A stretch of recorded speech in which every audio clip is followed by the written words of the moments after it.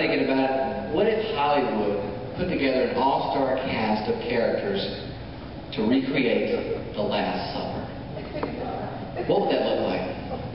You'd have Yoda. You have Mickey Mouse. The Water Boy. Jack Nicholson. Oh, and uh, Bill Clinton could play Judas. And of course, this will all be hosted by none other than Kermit the Frog. So let's go ahead and start. Why not? Hello, everyone, and welcome to the upper room. Of course, uh, may I remind you that tonight is the Last Supper.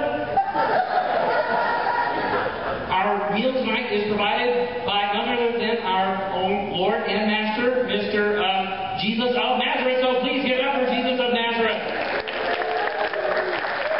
Hello, everyone. Welcome. You may be seated. Now, one of you tonight shall betray me. Believe I am this betrayer, I.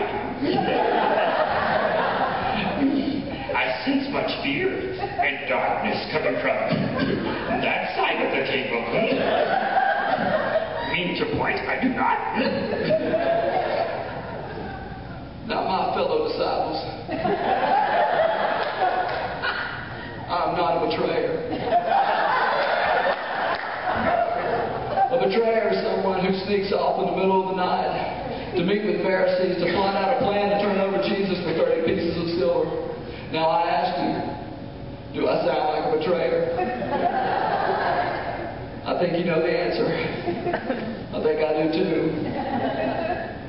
As I was saying, the man who dips his hand in the bowl with me shall be the betrayer. Excuse me, Jesus, you mind if I have some of that bread right there?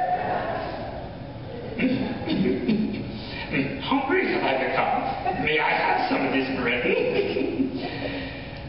This bread symbolizes my body that is broken for you. Oh boy, I sure am hungry. Can you pass me some? I believe I might as well have some of that uh, bread as well. With some butter or some mustard on it. Mhm. Now, of course, this blood is the new covenant that is poured out for the forgiveness of sins. Hey there, Jesus. I was just wondering, could you pass me some of that blood? I'm a little parched. Now, of course, Jesus, I, I don't know if I can have